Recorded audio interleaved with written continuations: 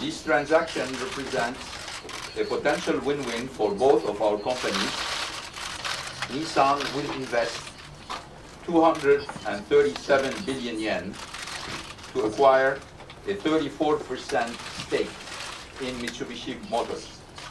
三菱自動車が今回の開発に関わる問題を乗り越え新しい一歩を踏み出すにあたり 過去5年間にわたりアライアンス関係を構築してきた日産自動車様との関係のさらなる進化は競争力を磨く上で非常に有効な日産自動車様とルノー様はお互いのブランドを尊重し独自のマーケティングを展開されています But there are also benefits for Nissan.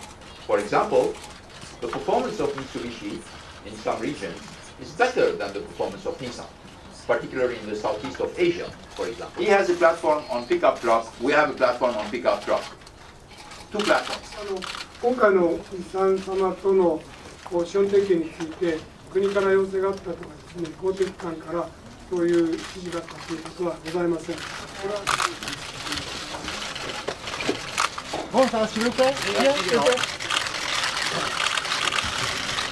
Merci beaucoup.